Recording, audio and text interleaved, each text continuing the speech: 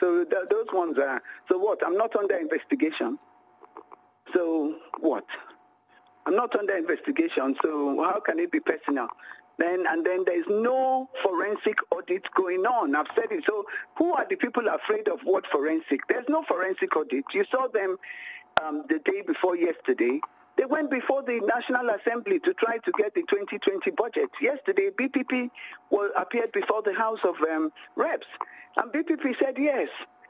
Akpabio told them that the budget had been passed. You know, then they said, where is the letter? Where is the copy? You can't act on, on voice. Somebody cannot just go to BPP, collect a, a, a, a due process certificate of no objection. So we cannot be deceived in Nigeria. There is no forensic audit going on. And you have confirmed now that they were at the National Assembly. They couldn't even defend their budget. Okay, so but they went back. But the people at your gate, Of what? And who can be sponsoring me? the people Me, at your I'm gate, just doing my own thing. the people at your gate. for seven months since he removed me.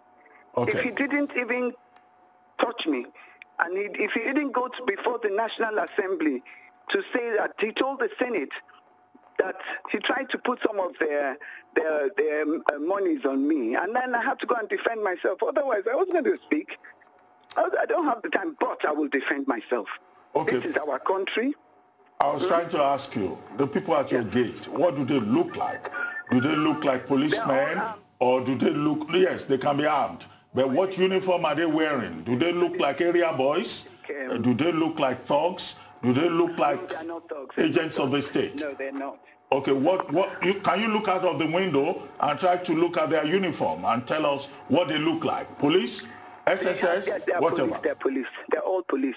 Policemen. And do they provide any uh, arrest warrant, uh, letter of investigation? No warrant. I've not been given any warrant. Can you recount what actually happened at 4 a.m. in your house? Uh, I, I'm, I'm supposing there was a gate, uh, but you said they are banging on your door. So Well, recount had what gate happened being exactly. banged. No, nobody opened the gate.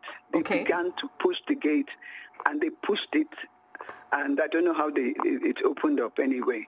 Uh, you know. So you're saying that your premises, like within your compound, at your door, but not Still inside the house? No, they're not inside the house. No, they're not. Okay, I, I, I- I just want to ask you this. What is your state of mind now with all of this happening? Um, my state of mind is this is our country. I'm not afraid.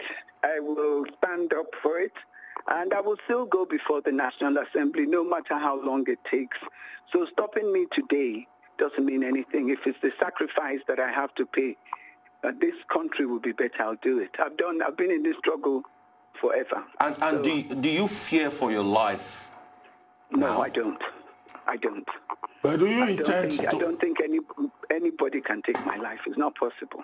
but do you intend to still uh, today uh, get across to the uh, Senate uh, by way of perhaps written communication now that this has become uh, out- I have public reached knowledge. out to I have reached out to the um, chairman of the panel to tell him what is going on, that I might not be able to make it. And um, I told them the situation, that's all. okay? Because I Yeah, thought I you know you need to reach out to them. I don't know. I don't think they would have the audacity to break into my house. I'm not an armed robber.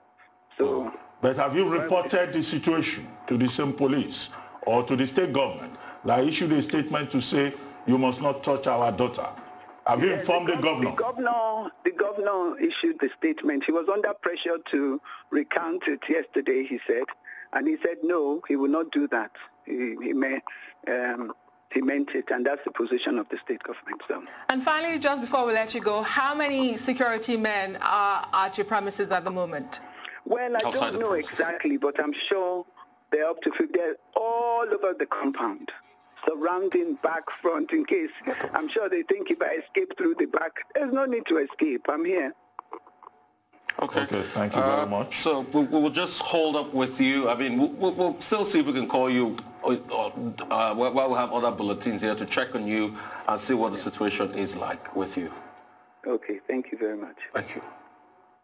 Well, that was Dr. Joy Nunieh, former NDDC boss, uh, talking to us about the invasion of her premises by armed, what she describes as armed security uh, men uh, policemen in particular, she said, in her Port uh, residence. She was on her way to, she was supposed to be on her way to Abuja today uh, to the Senate committee, but unfortunately she's held up in the House. We'll keep an eye on that situation with Dr. Joy Nunieh uh, later on.